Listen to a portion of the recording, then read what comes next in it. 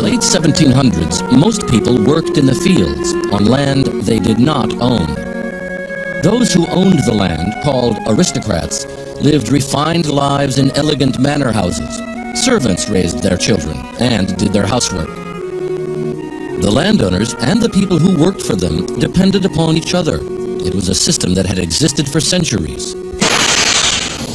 In towns across England and the United States, a series of extraordinary innovations would alter the way people lived and worked for the next 150 years.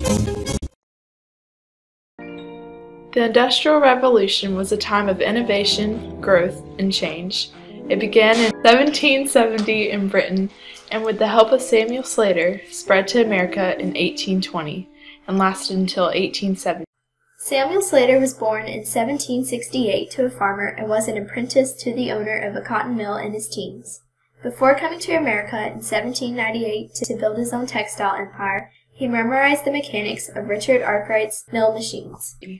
Samuel Slater is credited as being the father of the factory system and is responsible for bringing the modern factory to America to increase production.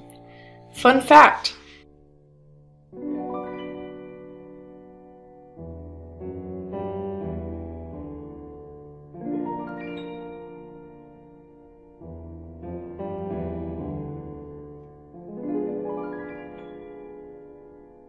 After Slater founded the first factories, the idea caught and spread through the country. With increasing reliance on the factory system, there was increasing reliance on natural resources. The three main resources were coal, oil, and steel. By the 1890s, mining had spread to the Appalachian Mountains, out to the Midwestern prairies through the Cascades and Rockies, making the U.S. the largest coal producer in the world with more than 750,000 coal miners. Coal was popularly used in powering railroads, steamships, and of course, factory machines. For a large source of power and fuel, people turned to oil.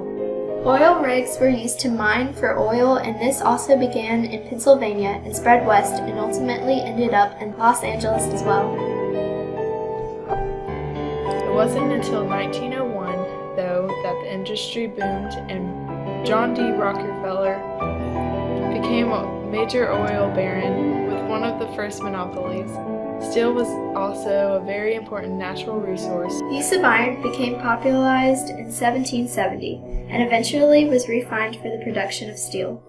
Once refined, it became durable building material and in fact was used to create the Transcontinental. Along with still rising in popularity came the Bessemer system. Created by Henry Bessemer, an English engineer, inventor, and businessman born in 1813, this system allowed for mass production. The system works by removing impurities from the iron by oxidation, which also heats the iron and keeps it mold enough to be molded into steel. Fun fact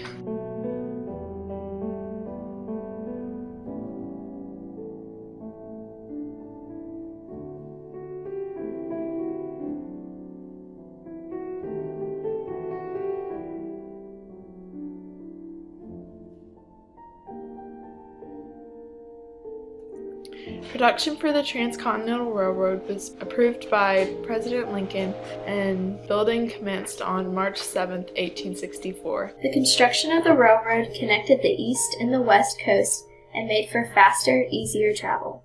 This cut cross country travel time down from six months to a little under a week. This was a huge improvement in expanding westward. The creation of the railroad inspired others to begin refining forms of transportation, and that was followed by the creation of the plane by the Wright brothers and the first car by Henry Ford. Ford's first car was the Model T Ford. It is also credited with the creation of the assembly line to speed up production. This was later implemented in most other factories and places of production. Fun fact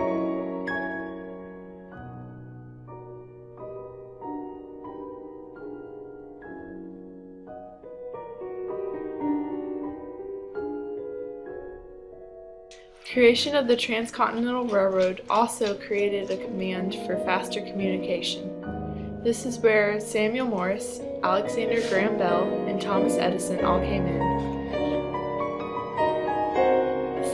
first created the telegraph along with Morse code.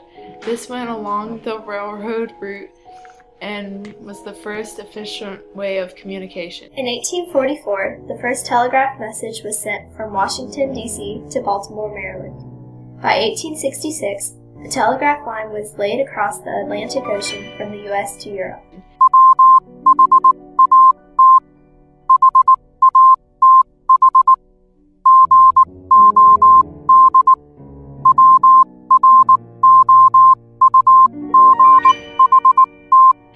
Then there was Alexander Graham Bell who invented the telephone. You are my heart. Alexander Graham Bell. Place of the telegraph because it was even faster. It was invented in 1876, and the technology is very similar to what we still use today. to compete with this, Thomas Edison created the phonograph.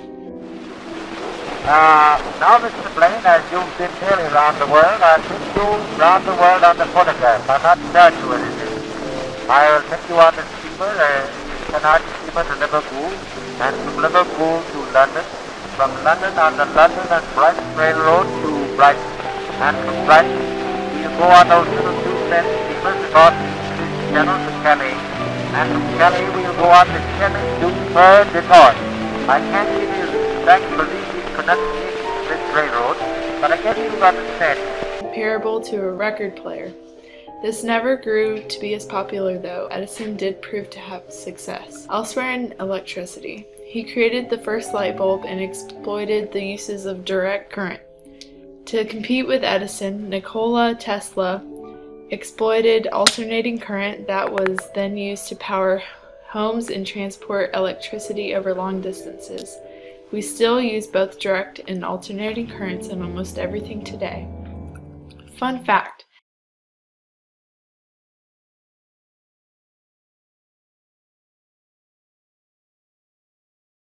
Industrial revolution led to a boom in an industry and technology.